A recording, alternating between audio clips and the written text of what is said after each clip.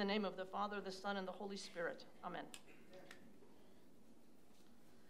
Sunday mornings have us squarely in the Gospel of Mark this year, with the occasional excursion into John or maybe a quick peek in Luke's Gospel now and then. But for the most part, we are going to be in Mark's Gospel on Sunday mornings. And things move quickly in Mark. Mark is the shortest, most succinct Gospel. I don't remember how often he uses the word immediately. The Greek term is euthus, and it's not always translated as immediately into English because we don't like quite that much repetition of the same word. In just nine verses in chapter 1, the word is used three times. Verse 12, and immediately the Spirit drove Jesus into the wilderness. In verse 18, Jesus calls Simon and Andrew, and immediately they left their nets and followed him. Then he sees James and John in verse 20, and immediately they, he called them and they left their father. Rarely is there time to pause and reflect in Mark's gospel, to ask yourself, what just happened, before Jesus has moved on to the next thing. And today we might want to ask, what just happened? Because as soon as he and his disciples left the synagogue upon finding Simon's mother in law sick at home, Jesus simply took her by the hand and lifted her up. You could say he raised her or resurrected her almost, brought her back to not her old life, but a new life with new purpose. Simon's mother in law got up and began to serve them. In what way was he serving them? Did she make, did, was she serving them? Did she make them sandwiches and tea and have all the disciples sit down and eat refreshments? It's possible. Probably even likely that she did that. That's what women tended to do. But she probably also did more. Because to serve is what Jesus did. He told his friends that he came not to be served, but to serve. To serve is what disciples do. So maybe Simon's mother in law became a believer that day, a disciple herself, not just making and passing out the tea, but listening to Jesus, supporting his ministry, telling others, helping the cause, being involved. Maybe Jesus' lifting her up from her sickbed changed her whole life. Imagine that. But before we have time to think about what's happened to Simon's mother in law, it is suddenly sunset and the whole city has gathered around outside the door. There is Mrs. Jenkins with her arthritis, old Joe's grown son with his bipolar, the street lady that everybody sees pushing a cart but no one knows her name, folks from the clinic, old people, children, asthmatics, cripples, addicts. Looks like the entire town is pushing to get in, clamoring to be made well, made new, like she was. Because who wouldn't want that? A strong and healthy body, a clean mind, a chance to start over, an acceptable presence in the community again, to be welcomed and understood and received as who you truly are. We all want that. Jesus made that possible by restoring people to their true selves, by giving them wholeness of life, a renewed spirit and body and personhood, understanding of self and self worth in relation to the whole world.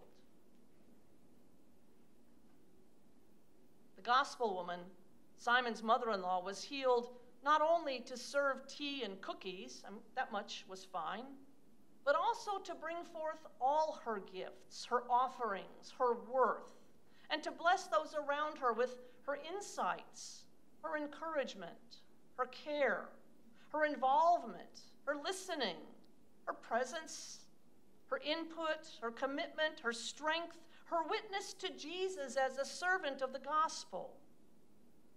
Jesus gave her not merely healing from a fever, but a whole new life to live among the family of disciples. The others from the city crowded around her door, wanting that too. And Jesus was busy, busy, seeing, hearing, touching, healing, making the world over into the kingdom of God on earth. Whew, I feel like I need a nap. Jesus is moving so fast. I'm not sure I can keep up. He's just been going, going, going from healing that woman in the morning to, to healing people in the night that all over the city. I would think that must have been exhausting for him.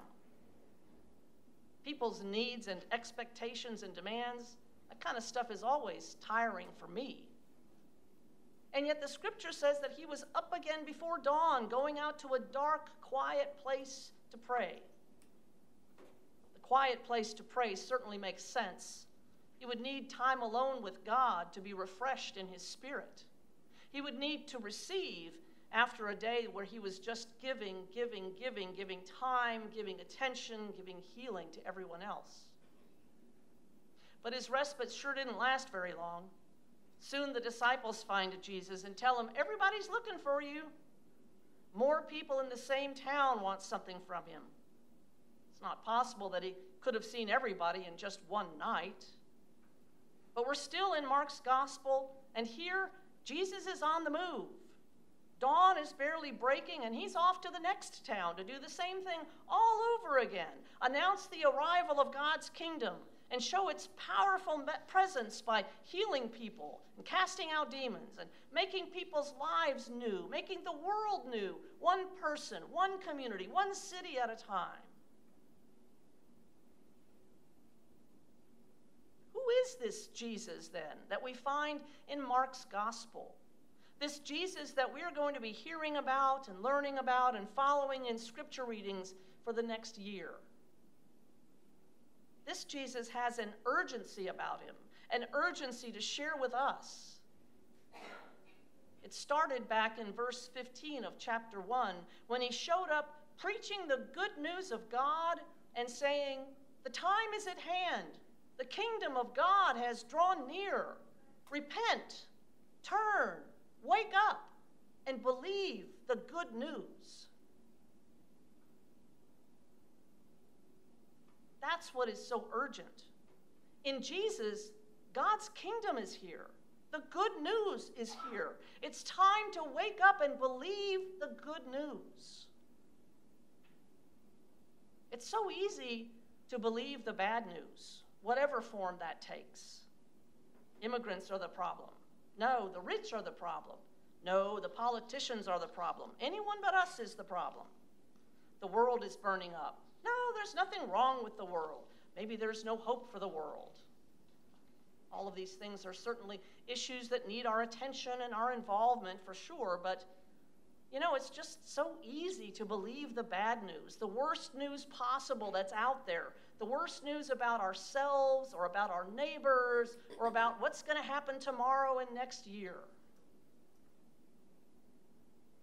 But I wonder if we're able to turn and open our eyes and believe the good news that Jesus is real, that the kingdom is here, that God is at work among us, that we have not been abandoned, that despite the genuine difficulties we face, there is hope for the future, for our future, for the planet's future, for the future of all people citizens, immigrants, politicians, the rich, the poor, women, children, men, caring for one another as Jesus has shown us how to care, with respect and honesty and decency and love.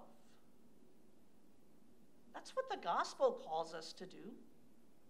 That's what Jesus calls us to do.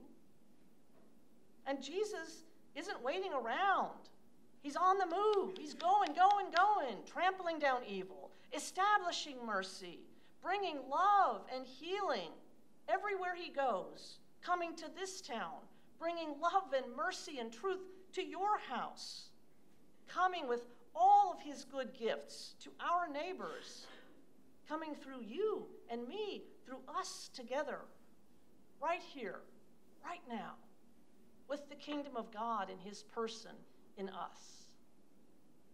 And that's good news that we can believe. Amen.